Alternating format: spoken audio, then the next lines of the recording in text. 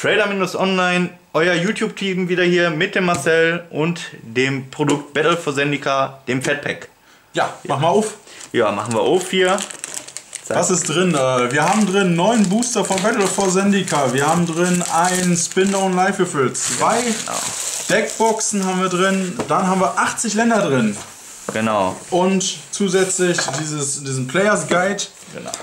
Also ganz einfach, was steht hier drin? Karten, ein bisschen Lore, also was geht ab auf Zendika gerade? Welche Planeswalker sind gerade da? Wir gucken wir einfach mal kurz durch. Welche Titanen sind da? Und einfach mal eine Beschreibung von allen Karten, glaube ich sogar. Oh ja, das sieht, das sieht danach Ja. aus, als hätten wir alle Karten von Battle for Zendika drin. Einfach mal zum Durchgucken. Ja, da könnt ihr euch einfach mal drau äh, einfach drüber schlau machen, was alles in Battle for Zendika drin ist und was da gerade abgeht auf dem Planeten. Genau, und dann haben wir hier wieder mal ein Poster, wie jedes Mal beim Fatpack auf der Rückseite. Für die Leute, die da diesen Sammeldrang haben, die Poster zu sammeln. Ja, na gut. Dann Ähm, machen wir auf die Kiste. ja, machen wir auf Kiste. Ja, wieder eine super tolle Box. Könnt ihr wieder Karten reinkloppen, bis zum Genau. geht nicht mehr. Dann haben wir halt zwei Deckboxen, wo Genau. man Karten reintun kann. Ja, Für die ersten Decks, die ihr euch dann basteln werdet aus den neuen Karten. genau. Dann haben wir Länder. Immer her. Genau. Mal offen. Dann haben wir hier noch den Würfel mit dem schönen Battle for Zendika Zeichen. Ja. Und unsere Genau, ich habe hier die ersten vier Booster. Dazu die 80 Länder, die da drin sind. 50, hier nochmal 5 und Regelreferenzkarte, falls die Leute äh, neu im Magic sind, immer sehr praktisch, sowas dabei zu haben. In der Jawohl. Box natürlich die 80 Länder, alle Full Art. Sieht man natürlich sehr schön, ist sehr gut. Ein Land äh, aus der alten Generation wurde immer reingepackt. Aber gehen wir jetzt auch zu den wichtigen Teil, den Boostern. Genau, machen wir mal die Booster auf. Track die Booster. Zack.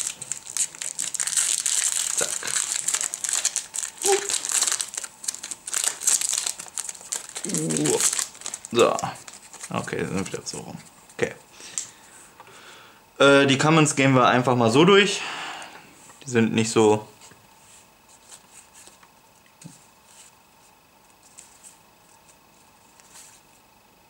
Ja, das ist schon einmal die, diese neue Fähigkeit, dieses Devote, dass die Farbe zwar eine Farbe, also die Karte zwar eine Farbe hat, aber als farblos gilt. Das ist schon mal ganz interessant in diesem Set. Rally, die alte Fähigkeit, die jetzt einen Namen bekommen hat von den Allies. Genau, die Allies hatten ja damals immer die Fähigkeit, dass sie triggern, wenn ein anderer Ally oder sie selbst ins äh, Spielfeld kommen und das hat jetzt einen eigenen Namen, also ein eigenes Wording bekommen, das heißt jetzt Rally. Genau. So, Evolving Wilds mit einem neuen Artwork. Ja, das finde ich sehr schön, das So. Artwork. Und da haben wir den, die erste Ankammern. Den Resolute Blade Master für 5 Mana 2-2 mit Rally. Und äh, wenn er das Spielfeld betritt oder ein anderer Ally das Spielfeld betritt, kriegen unsere Kreaturen Double Strike bis zum Ende des Zuges. Nicht schlecht.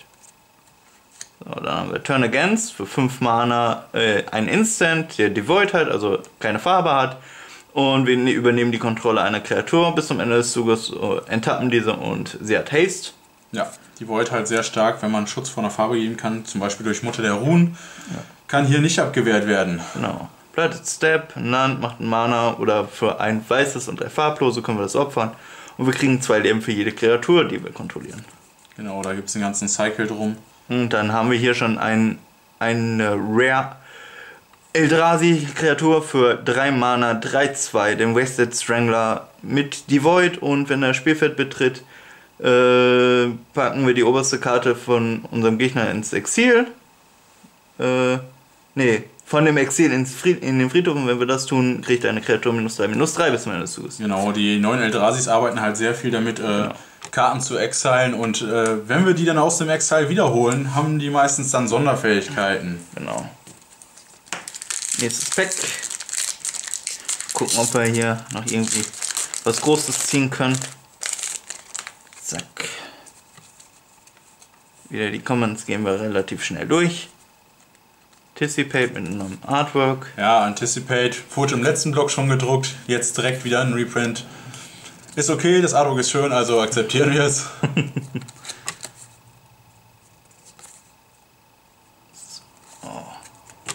So, dann haben wir. Oh, ich muss mich mal eben anders setzen. So. Den Fire Metal Mage für 3 Mana 2-2 mit Rally. Und wenn er das Spielfeld betritt oder ein anderer Ally das Spielfeld betritt, kriegen Kreaturen, die wir kontrollieren, Menace. Und Menace ist ja auch eine, ein neues Wording, das heißt, die Kreatur kann nur von zwei oder mehr Kreaturen geblockt werden. So, dann haben wir den Sulapod Throater für 2 Mana 1-1 und wenn er oder eine andere Kreatur das äh, Spielfeld verlässt oder stirbt, ähm, verliert äh, unser Gegner oder jeder Gegner ein Leben und wir kriegen ein Leben. Ja, also der kleine Bruder von Blood Artist würde ich sagen. Genau. Ist also ganz gut. Ja. Kann man spielen. Ja. Dann haben wir Retreat to Valakut. Für drei Mana ist das ein Enchantment mit Landfall. Also Landfall triggert immer dann, wenn ein, Spiel, ein Land das Spielfeld betritt unter Genau. unserer Kontrolle. Genau. Und dann kann man sich zwischen eins der beiden Sachen entscheiden. Entweder eine Kreatur kriegt plus 2 plus 0 bis zum Ende des Zuges oder eine Kreatur kann nicht blocken bis zum Ende des Zuges. Ziemlich gut. Und da haben wir unsere Rare, den Noyanda Royal Sharper für 5 Mana, 4-4. Und jedes Mal, wenn wir einen Instant oder Sorcery Spell spielen, kriegt er 3-1-1 Marken oder kriegt ein Land, was wir kontrollieren, 3-1-1 Marken. Und das Land zählt dann als 0-0 Elemental-Kreatur mit Haste bis zum Ende zu, bis, bis mit Haste und ist immer noch ein Land. Ja, genau. Und da, man darf sich nicht irritieren lassen mit der Kreatur. Man denkt sich so, ja, wenn ich jetzt alle Kreaturen, alle meine Länder zu Kreaturen mache, dann kann mein Gegner die ja alle abräumen. Aber man kann diese Fähigkeit tatsächlich immer wieder auf dasselbe Land anwenden. Das heißt, wir kann, können nachher ein 12-12 Land haben, was nachher quasi die Eldrazi stompen kann. Genau. Oder zusammen mit den Eldrazi stompen. Und Pflanzen trocken. Genau. Machen wir das nächste Päckchen auf. Jetzt. So. Commons gehen wir mal wieder schnell durch. Dann haben wir wieder jede Menge dieser neuen Eldrasis. Die kleinen.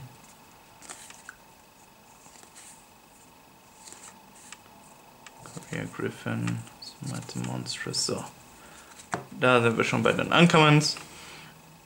Dann haben wir den Murasa Ranger für 4 Mana 3-3 mit Landfall. Also Landfall hatten wir ja gerade schon erzählt. Und in dem Falle müssten wir dann noch 4 Mana zahlen. Und wenn wir das machen, äh, können wir zwei Marken auf ihn legen. Zwei 1-1 Marken. Das heißt, er wird immer größer.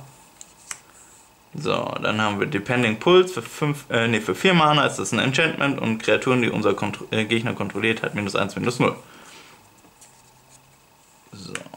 Hedron Archel. Für 4 Mana ist das ein Artefakt, was uns 2 Mana generieren kann.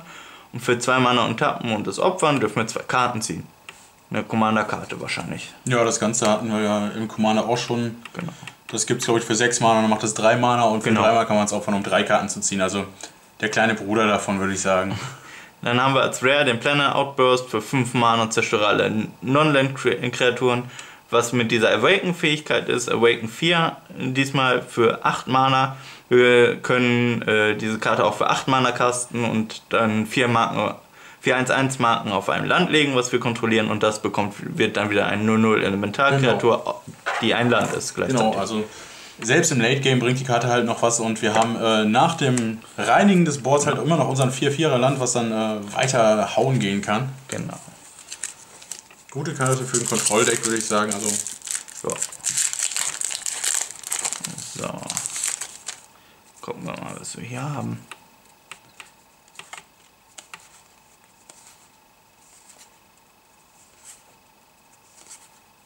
Dann haben wir wieder die ganzen Comments hier. Wie immer. So. Den Morasa Ranger hatten wir gerade schon mal für 4 Mana, 3-3 mit Landfall, in der Genau. sich zwei Marken machen kann. Gehen wir nicht lange drauf ein. Breaker of Armies mit 8 Mana 10 8 ein Eldrazi, der äh, von allen Kreaturen geblockt werden muss, wenn das, wenn das kann. Beziehungsweise wenn er angreift, muss er von allen Kreaturen geblockt werden. Das ist wieder so ein Teil, was in äh, Ralfs Kategorie fällt. Dicke, fette Eldrasis, ja. Genau. Da haben wir nochmal Retreat to Valakut, den hatten wir gerade auch schon mal mit dem Landfall aus Enchantment. Und dann haben wir eine Rare, äh, das Scatter of to the Winds für drei Mana, also zwei blaue und ein farbloses. Und wir können einen Spell countern als Instant und Awaken halt auch. Wir können das für sechs Mana casten und stattdessen noch drei Marken auf ein Land legen. Genau, das ist quasi ein Cancel äh, mit dem Upside, dass wir einfach im Late Game, wenn wir das Mana offen haben, noch eine Kreatur machen können, also aus unserem Land eine Kreatur machen können. Ja. Ja, ein Eldrazi Spawn Token. Ja, ich glaube, die sind keine, das sind keine Eldrazi Spawns mehr. Nee? Nee, in dieser Edition heißen sie äh, Eldrazi Skyens und die, so. ganz, die guten Kollegen haben auch keine 0-1 mehr, sondern die guten 1-1. Kollegen haben 1-1. Uh. Ja, die können jetzt auch Schaden machen. Ah, ja, ja. Eldrazi ist erwachsen geworden. Selbst die Kinder können jetzt hauen. ja, gut. Gehen wir mal hier wieder durch. Comments.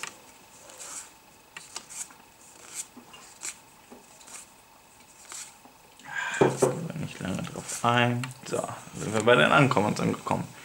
Äh, Valgerate, äh, 3 Mana, Sternchen 5 mit Devoid, also wieder keine Farbe, obwohl eine Farbidentität. Und äh, sagt, die ist so groß, wie wir Kreaturen kontrollieren und hat, hat Trample und Ingest. Ingest ist ja auch eine der Fähigkeiten von den neuen Eldrasis. Das heißt, wenn diese Kreatur Kampfschaden macht, äh, exiliert der Spieler unseres Ja, Gegners. kann- also wenn er Kampfschaden am Gegner selbst macht, nicht an der Ja, Kreatur, genau. dann muss er die oberste Karte von seinem Deck exilen und die arbeiten halt damit, die ganzen Eldrasis. Also zumindest die größeren fangen dann damit an, plötzlich aus dem Exil alle Länder wieder zu holen oder Schaden zu schießen. Genau. Die werden dann schon richtig böse. Dann haben wir den Slap Hammer für zwei Mana in Equipment und wenn wir das an eine Kreatur equippen, äh, können wir ein Land zurück auf unsere Hand nehmen und wenn wir das machen, kriegt die Kreatur plus 2 plus 2 bis zum Ende des Zuges. Equip für 2. Ja, harmoniert halt super mit den äh, Landfall-Triggern. Falls wir kein Land mehr auf der Hand nehmen, können wir es schön equippen und zack, nehmen wir das Land wieder auf der Hand, spielen es direkt wieder aus und haben die ganzen Landfall-Trigger. Genau. Hier haben wir Retreat to Coralheim für drei Mana, das blaue Enchantment, da gibt es auch ein Cycle für, jedes, für jede Farbe. Und zwar auch das Landvollland und entweder tappen wir oder enttappen wir eine Kreatur unserer Wahl oder wir machen Hellsicht 1. Genau, und äh, um die Karte gibt es, glaube ich, auch, da wird gerade schon eine Combo gebastelt im Modern. Natürlich. Ja, mit dem Knight of the Reliquary, jeder kennt ihn wahrscheinlich, 3 Mana, 2-2 plus 1 plus 1 für jedes Land im Friedhof und man Also. kann ihn tappen, um ein Land zu sacken und ein neues rauszusuchen, was natürlich dann wieder ein Landvolltrigger ist, dass wir den wieder enttappen können und wieder weitersuchen können. Yay. Na gut, dann haben wir hier als Rare Jugends Insight für 5 Mana eine Sorcery, wobei Scribe X, wobei X die größte Converted Mana Cost äh, an Permanenten, die wir kontrollieren, ist. Und dann ziehen wir drei Karten. Ja. Typische Commander-Karte. Sehr stark im Commander. Ja, ich denke auch. Also Commander und auch solide mit den, Mountain. mit den Eldrasis, wenn man da einfach mal für 8 scryen kann und sich dann quasi alles raussuchen kann, was man braucht. Drei Karten ziehen, ja. Ah, das ist stark. Ja. Ich denke mal, im Standard wird das Constructed Play sehen. Weil es für 5 Mana immer noch drei Karten ziehen ist. Ja, ich bin jetzt nicht der Standardprofi, aber Ja, was hatten die vorher? Jace's Insight, das konnte das Cryen nicht, aber hat drei Karten gezogen und wurde auch gespielt. Also, Ja. ja. Dann gehen wir davon mal aus. Anticipate wieder mit dem schönen Unwork. ja, den nehme ich mir gleich raus und pack den in meinen Ordner rein. So, dann sind wir bei den Uncommons. Dann haben wir Rolling Thunder für X und zwei rote und das ist eine Sorcery und die macht X Schaden an äh, einer beliebigen Anzahl an äh, Kreaturen oder Spieler unserer Wahl. Ja, die wir so aufteilen wollen, wie wir können, wie wir Mana haben vor allen Dingen. ja. Ja. Äh, dann haben wir Horrible Auri für zwei Mana ist das ein Instant, wieder mit Devoid. Und wir können einen Kreaturenspell mit Converted Mana Cost von 4 oder weniger äh, countern und äh, der geht stattdessen ins Exil anstatt in den Friedhof. Also der gecounterte Spell. Ja. Typischer Counter. Mm, Dann haben wir den Jedid Offshot. Für ein Mana ist das eine 0-3er Defender-Kreatur. Mit Landfall und wenn Landfall triggert, kriegen wir ein Leben. Das ist ganz gut. Ja, die Blöcke hatten ja alle ihre, ihre Mauern, ob es ja Genau. der Ochs war für 04 oder ob es das äh, Star Wars Sheep oder wie es hieß war, Ja. 05 und jede Runde ein Leben. Nix fließt Ram. Genau. Also die hatten ja immer ihre Blocker. Und da haben wir schon. Ein, äh, ein Tapland. Genau. Ja, ein Manland. Manland sogar. Wow. Äh, genau, in diesem Cycle gibt es ja die neuen Manlands. Äh, Genau, jetzt werden erst zwei gespoilt und im nächsten Block kommen wahrscheinlich die nächsten drei. Genau. Da haben wir meiner Meinung nach das Bessere von den beiden erwischt. Das ist ähm, halt blau-grün, kommt getappt ins Spiel und kann für vier, Vier Mana, Mana. zu einer 3-3-Kreatur werden, die Hexproof. ist. Also das ist richtig schwer abzuräumen, weil ähm, ja. es ist halt nur aktiv im, in unserem Zug und da kann man es halt nicht mit ähm, ja, Spot Removal loswerden. Und wenn der Gegner dran ist und seine Sorceries äh, oder Board Wipes losballern will, dann ist es ein Land. Ist Ja. halt ein bisschen blöd. Genau. Aber halt top, zu, wenn man es selbst spielt. Richtig. Und da haben wir sogar noch eine voll outnumbered. Sehr schönes Artwork. Ja. und ein Land und eine Pflanzentoken. Ja. Dann haben wir nur noch drei Packs und sind wir auch schon durch. Hau rein. Also bis jetzt würde ich sagen, können wir ein Ally-Deck bauen. Das ist wohl wahr. Eilers hatten wir genug. Opa. Jetzt fehlt noch ein richtig dicker Klopper von den Eldrasis und dann können wir hier Eldrasi gegen Allies spielen und dann geht's los. Ja gut, dann gehen wir mal hier wieder durch. Etas Reap, kennt man auch, die Karte. Ja, genau. Commons wieder hier. Mal relativ schnell durchgehen. So. Bei den Uncommons haben wir den Processor Sword. Für zwei Mana ist es eine Sorcery, die äh, zusätzlich zu ihren Mana-Kosten noch eine äh, Karte aus dem Exil in den Friedhof legen muss vom Gegner. Und wir dürfen dann fünf Schaden auf eine Kreatur schießen. Ja, Das ist, äh, das ist okay. Vor allen Dingen halt mit der Fähigkeit von den Eldrazi Sachen in Exil zu schicken. Ja, Ja, man kann ja auch lustige Spiele damit machen. Ne? Also man kann zum Beispiel Kitchen Finks äh, reinbringen, ja nicht, nicht Kitchen Finks, sondern Flicker Wisp.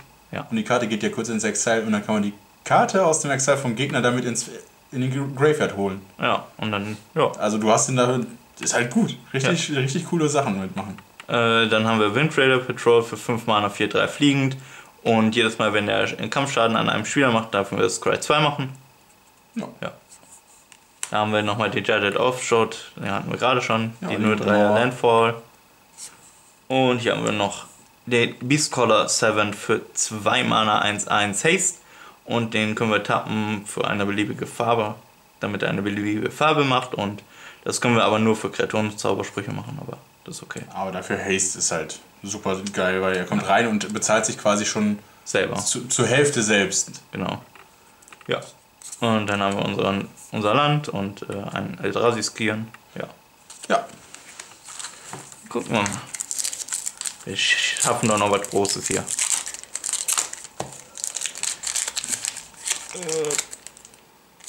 macht die Booster nicht kaputt. Ah, Doch, ich mach die Booster kaputt. So. Haben wir nochmal Comments.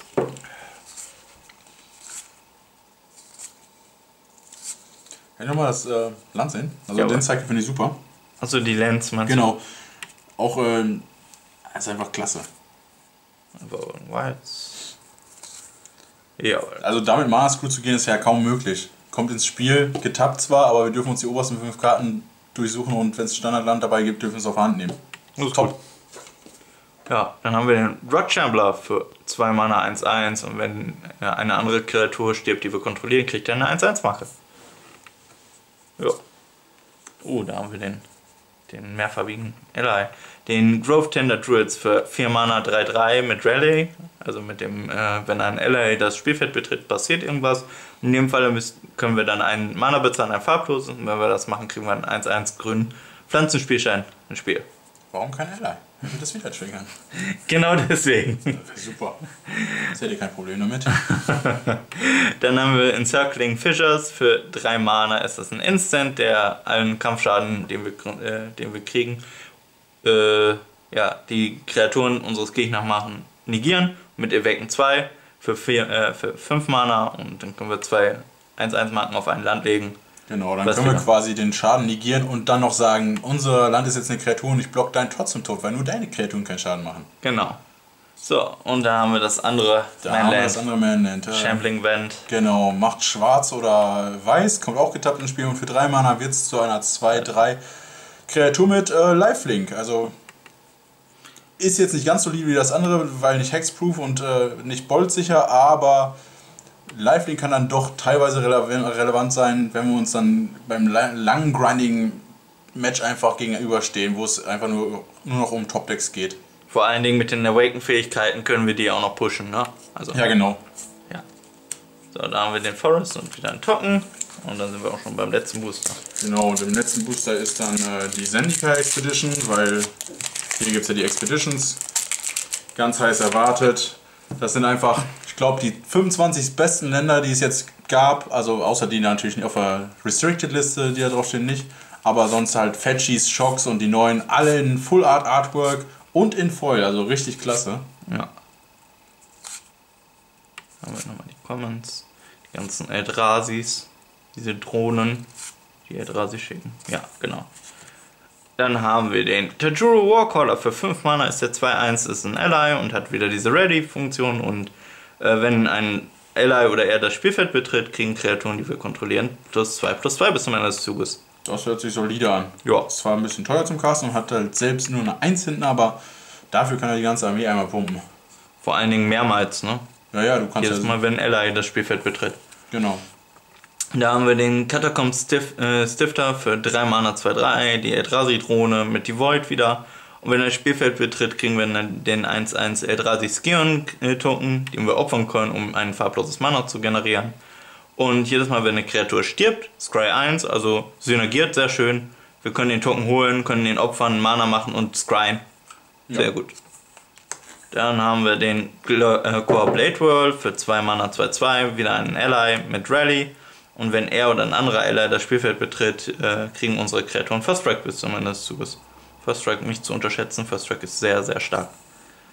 Und da haben wir unsere Rare, den Akum Hellkite für 6 Mana 4-4 fliegend mit Landfall. Und jedes Mal, wenn ein Land unter unsere Kontrolle ins Spiel kommt, äh, schießt er einen Schaden auf eine Kreatur oder einen Spieler. Und wenn es ein Mountain ist, macht er zwei Sp äh, Schaden stattdessen. Ja. Dann haben wir noch den Mountain und einen Eldrazi Skionto. Ja. Ja. Das war's auch schon wieder gewesen. Ja, Alle Packs gecrackt. Genau. Ja, dann sehen wir uns schon im nächsten, würde ich sagen. Ja, wir sehen uns wieder. Bis dann.